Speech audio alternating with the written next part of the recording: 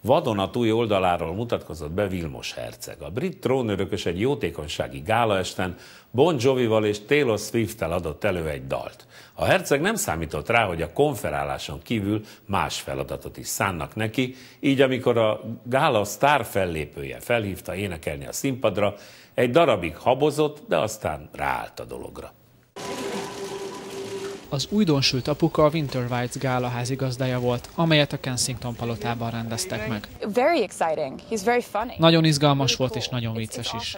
Elképesztő volt közelről látni egy embert, akit csak a tévéből ismersz, és nagyon tiszteled az életmódját, aztán egyszer csak együtt énekelsz fel a színpadon, és rájössz, hogy valójában mennyire az a személyiség, mondta el az énekesnő. Sun, sun, sun, Vilmos herceg eredetileg csak a házigazda szerepét töltötte volna be, de a gála sztár fellépője John Bon Jovi felhívta a színpadra énekelni. A trónörökös végül beadta derekát, és megmutatta, milyen laza is tud lenni. A produkcióhoz végül ő hívta maga mellé Taylor Swiftet, így hárman adták elő Bon Jovi egyik slágerét. Soha nem találkoztam vele korábban.